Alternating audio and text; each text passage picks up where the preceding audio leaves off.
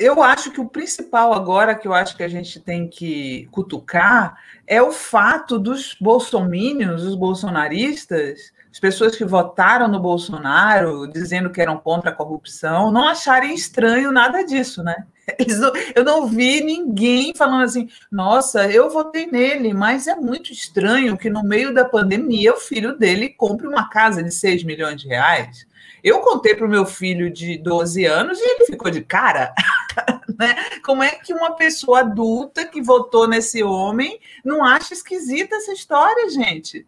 E ainda tem um fato, né? Um fato é, curioso, pode não ter nada a ver, mas o fato é que ele é acusado de um desvio de 6 milhões e 100 mil e compra uma casa de 6 milhões. Né? Até mesmo simbolicamente, esses números são muito esquisitos.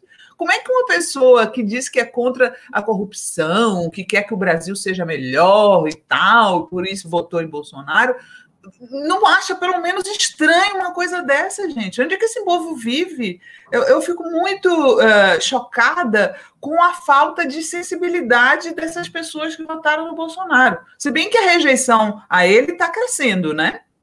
É, a rejeição está crescendo, mas não, não, há de fato uma indignação com a roubalheira escancarada, né? Porque isso aí, evidentemente, não fica de pé, não tem justificativa.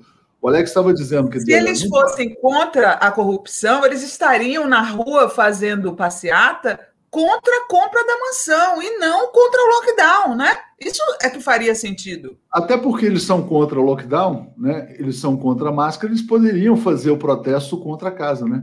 Evidentemente. Evidentemente. Ninguém está impedindo eles.